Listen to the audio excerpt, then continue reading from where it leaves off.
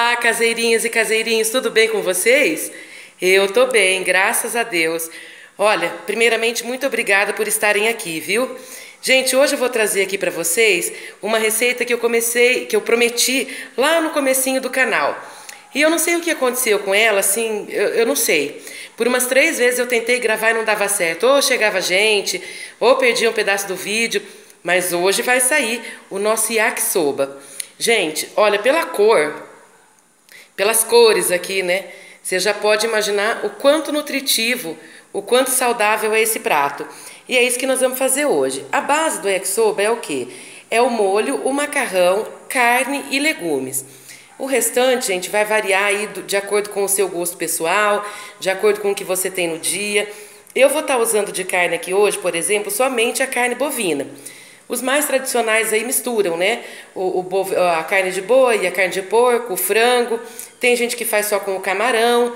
Mas enfim, hoje eu vou fazer aqui para vocês da maneira que eu mais gosto, tá bom? Então vamos lá ver o que, que nós vamos usar. Lembrando que você tem legumes, você tem carne, tem o molho e tem a massa, é opcional, você vai variando aí de acordo com o seu gosto. Então aqui eu tenho um quilo. O meu é patinho da paleta, gente. Eu cortei em tiras, tá? Em tiras fininhas assim, ó. E temperei com, com molho de soja, molho de soja, gengibre e alho, só isso. Aqui eu tenho uma cabeça bem pequena de couve-flor, uma de brócolis, meu brócolis hoje aqui é o ninja, mas você pode estar usando aquele outro. Então eu tenho couve-flor, o brócolis, duas cenouras médias fatiadas grosseiramente, tudo vai grosseiro aqui para nada sumir. E um pedacinho de pimentão vermelho.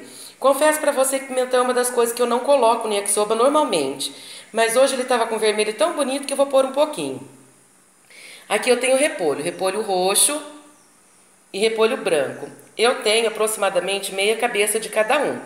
Mas, gente, é, não é uma coisa específica de falar isso, porque cada repolho é de um tamanho, cada família é de um tamanho, então a ideia inicial é trazer para você o modo de preparo, o resto você vai adaptando aí.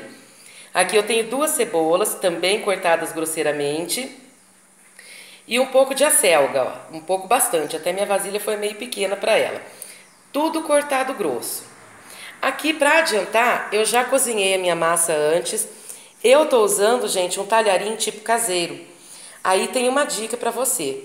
Você vai parar, você vai olhar atentamente os minutos de cozimento que, a, que o pacote está te pedindo, né? A embalagem está te pedindo. Pediu oito minutos? Deixa dois a menos, sempre dois a menos, porque a gente vai acabar de cozinhar ele junto com o molho. E aqui o que, que eu fiz? Eu cozinhei, deixei bem al dente, quase duro mesmo, bem al dente, e depois eu coloquei um pouco de óleo de soja e, e molho de soja também. Eu, toda hora eu quero falar shoyu, mas é molho de soja, né? E molho de soja. Aí misturei e deixei aqui, ó. Ele tá frio, parece que não vai desempelotar, mas na hora que a gente pôr lá ele vai ficar bem tranquilinho. Então já tá aqui cozido. Você pode cozinhar até um dia antes. Ah, tem gente que usa esse macarrão aqui, ó, que é tipo um macarrão instantâneo. É não, tipo não, é um macarrão instantâneo, né? Pro yakisoba, você pode estar usando esse.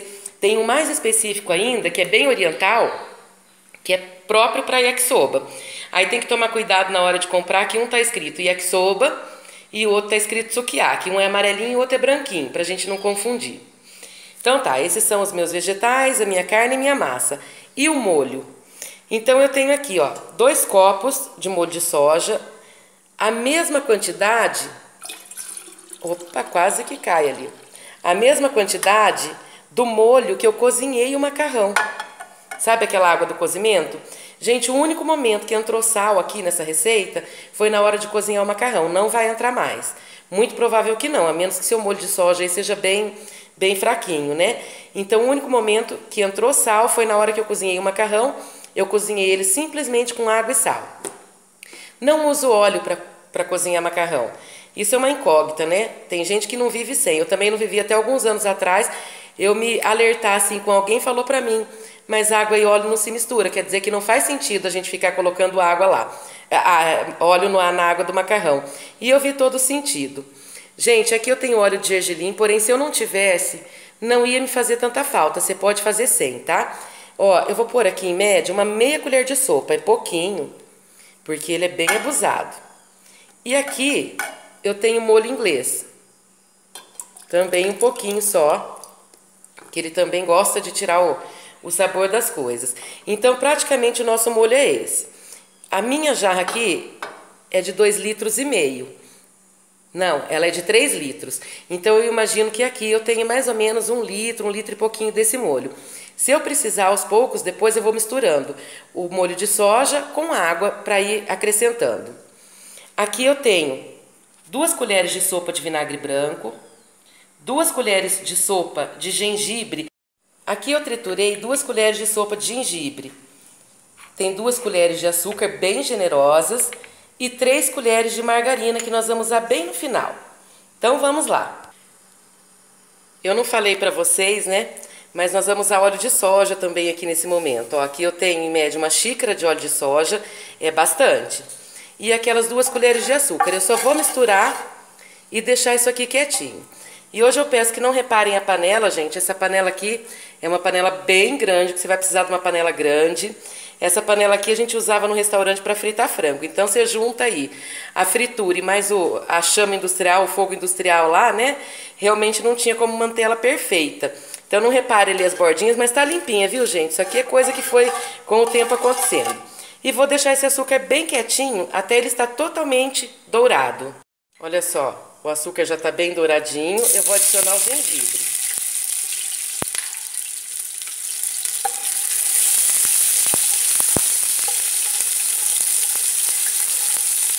O gengibre aqui, gente, agora cuidado nessa hora, tá? Eu vou colocar o nosso vinagre. Não que tenha perigo de pegar fogo, nada, mas é cuidado porque ele espirra. Nós estamos colocando uma coisa fria dentro do óleo quente. Aqui a gente deixa ele, ó, ele misturou com o gengibre com açúcar, ele já, já evaporou um pouco daquela fortidão que ele tem, né? E agora vem com a nossa carne. Gente, eu tô com uma mão só, eu vou pôr a carne aqui e já te mostro. Ó, eu só despejei ela lá. Só vou agregar aqui e deixar ela sem mexer. Deixar ela quietinha aqui. Ó, toda espalhada na panela. Eu vou deixar ela quieta, porque agora é o momento que ela vai soltar um pouquinho do suco dela, que vai fazer aquela espuminha. Aí sim, eu vou dar uma mexida nela e começar a adicionar os legumes. Ó, a carne já tá aqui, ó, ela já, eu sem mexer, gente, eu só ajeitei ela na panela aquela hora. Ela já pegou a cor que ela precisava em função da espuminha que foi subindo ali, foi cozinhando ela por inteiro. Agora é a hora da gente começar a agregar aqui os nossos outros ingredientes. Tá aqui o meu molho, já vou colocar um pouco dele. É muito rápido. O difícil aqui, o mais complicado é a gente higienizar e cortar os legumes. Depois que está tudo preparado, é muito rapidinho. E agora eu vou deixar isso aqui levantar a primeira fervura. Eu vou até trocar de fogo para agilizar um pouquinho o processo, eu pôr numa chama um pouquinho maior. Mas levantou a fervura, já vou começar a adicionar os vegetais. Ó, gente, já levantou bastante fervura. Eu vou abaixar um pouquinho meu fogo, só para não ficar embaçando demais aqui para vocês. Levantou fervura aqui, eu vou começar a adicionar os nossos vegetais. O primeiro que eu coloco é a couve-flor. E aqui, gente, um, um critério meu, tá? Uma coisa minha, eu não gosto de nada dos vegetais muito cozidos. Então eu deixo ao dente, por isso que é tão rapidinho. Agora, se você gostar das coisas mais, se quiser eles mais cozidinhos aí, mais em pontinho, num ponto um pouco mais mole, aí sim você deixa um pouco mais. O meu vai ser bem rapidinho. É praticamente o ponto de mexer. E agora, aquele caldo que tá ali, ó, o molho que nós fizemos, é sempre devagarzinho que a gente vai aumentando aqui. Nós vamos usar todo ele e se duvidar ainda vai precisar de um pouco mais, que eu já falei pra vocês, né? Como é que eu vou aumentar. Então, ó, eu misturei aqui. Deixo levantar a fervura novamente.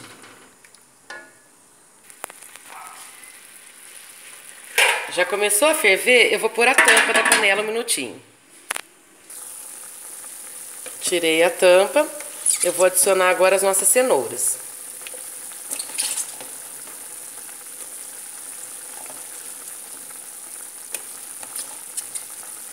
Cenoura ali, só vou dar mais uma mexida, ainda tem um pouquinho ali, mas eu já vou mexendo aqui e adicionar mais um pouquinho do caldo.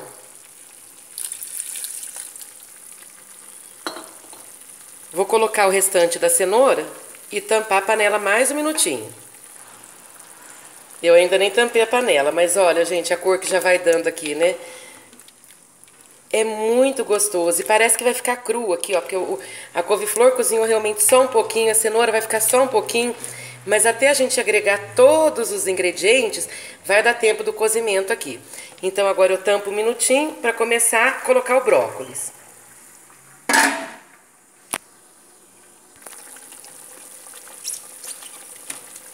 Já tá com uma fervura boa, vamos pro nosso brócolis.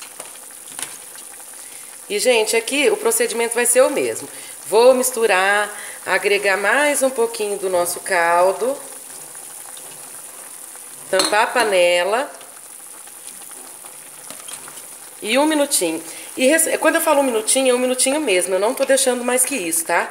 Senão, até tudo cozinhar aqui, vai virar uma, uma polenta. Olha que coisa mais linda, gente. Já tá ficando bonito, né? Ó, que delícia. Saúde pura. E o interessante desse prato é que ele é um prato único. Você vai sujar uma panela, é tudo limpinho, porque as vasilhas que você usou para pôr os seus vegetais ali tão limpinhas, não tem gordurança, não tem nada. Tá aqui, vou tampar um minutinho. Agora eu venho com, nosso, os nossos repolhos, né? O branco e o roxo. E junto com eles, eu vou colocar a cebola. Gente, cebola é vida em todo tempo, mas aqui ela fica perfeita. Mais um pouquinho de caldo, vou misturar. Mesmo processo. Olha que lindeza isso aqui, gente do céu. Agora, eu falei pra vocês, né, que eu aumentei um pouquinho do meu caldo, coloquei um por um. Um de molho de soja e um d'água. Agora eu vou pôr todos.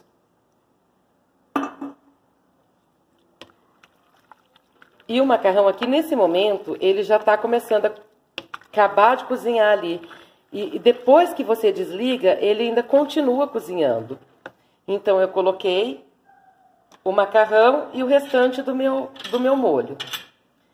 Vou colocar nossa selga. Nossa, gente, parece comida para um batalhão, né? Mas não é não, pode ficar tranquilo. Vou só agregar ela aqui, colocar nossa margarina. Hoje não é manteiga. Se você optar por usar manteiga, você pode ficar à vontade. O meu hoje é margarina. Vou pegar aqui a nossa margarina. Misturar. Gente, essa margarina do final, ela dá um sabor que se não tiver, você vai sentir falta. E você viu só como os legumes estão cozidos?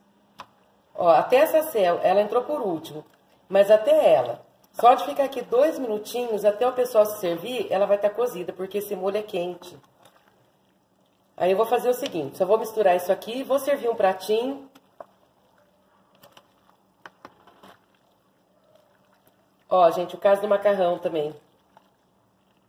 Ele mesmo duro já tá bem cozido aqui.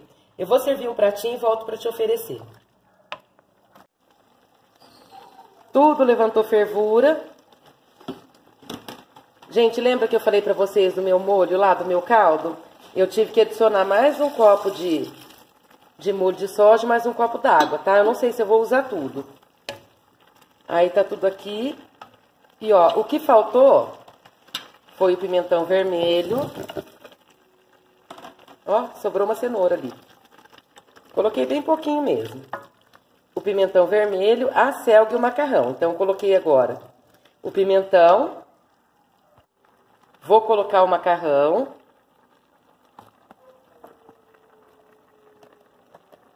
Lembra, tá, gente, que eu deixei ele quase, assim, bem ao dente. Quase mais duro do que ao dente. E agora eu vou mexer isso aqui. Só mexer. Que enquanto isso o caldinho quente lá já vai cozinhando. Já vai soltando aqui o macarrão e cozinhando o nosso pimentão. Só vou mexer isso aqui. Tá pronto, pessoal. Alguém tá servido de saúde aí? Alguém tá servido de sabor misturado com saúde? Pessoal, esse foi o nosso vídeo de hoje. Espero muito que vocês tenham gostado e até o próximo.